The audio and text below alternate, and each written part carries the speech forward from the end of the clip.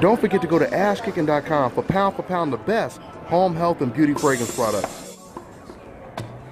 Hi, my name is Veronica, and you're watching Dontae's Boxing Nation. How did that one do? That was very good. Let's do it just maybe one or two more, okay? You know, I mean, and, and just let's look at this um, Hollywood script. There's a serious movie brewing right now, Ranger. If you just go all the way to the beginning of um, Rigo's journey, from him defecting uh, from Cuba, them sending him back, he get caught. Now he can't go to the Olympics. You know, they strip him, you know, of what he loves to do. You know, try to feed his family and box and all that. That's all he knows, right? So he defects again. He finally gets over here. He finally gets signed with Top Rank.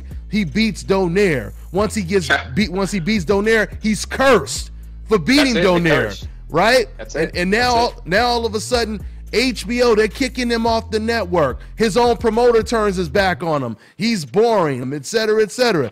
They, you know, they exile his ass to China. Not even on the undercard. Not even uh, fight. Not even being telecast. Right? Knocking out people like you said. Amagasa, towering over him. Right now, once again, they try to sweep him under the rug. Now he's about to fight Lomachenko. And it's like he refused, he can't stop, won't stop. He refused, you know, to take no for an answer. And now this right here is going to signify his career once again, like the Donaire fight did. And then at insult to injury, you have his own uh, WBO um, organization, WBA organization. They tell him if you fight Loma, we're gonna take your belt down here. So when you if you lose that fight, you ain't got no home to come back to. So regardless if he wins or lose, man, or loses, this is a hell of a Hollywood script, Ranger.